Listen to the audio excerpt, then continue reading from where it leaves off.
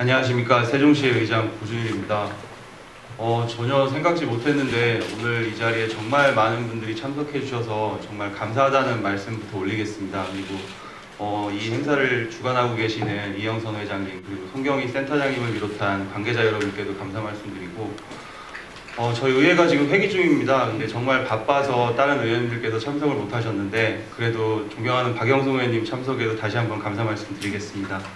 어, 또 환경부의 박청규 실장님 그리고 남강희 원장님께도 진심으로 감사 말씀드리고 어, 시장님께서도 말씀해 주셨지만 세종시가 이제 출범한 지 얼마 안 됐고 너무 작다 보니 환경 쪽에 많은 예산과 관심이 좀 많이 부족했었던 것도 같습니다. 그래서 어, 박영선 의원님 앞에 계시지만 박영선 의원님께서는 로컬푸드 연구 모임도 해주시고 또 김정봉 의원님께서는 대기질 연구 모임도 해주시고 그래서 환경 쪽에 지금 관심을 의회 차원에서도 굉장히 많이 갖고 있다는 말씀 먼저 드리고 오늘 이 자리를 계기로 시장님, 교육감님 그리고 의회도 더불어서 세종시가 좀 더 환경적으로 나은 그 외부에 있는 분들이 찾아와서 세종시를 어, 굉장히 친환경, 친환경적이다라는 도시로 인식하고 갈 수 있도록 저희 의회에서도 최선을 다하겠다는 말씀 드리겠습니다.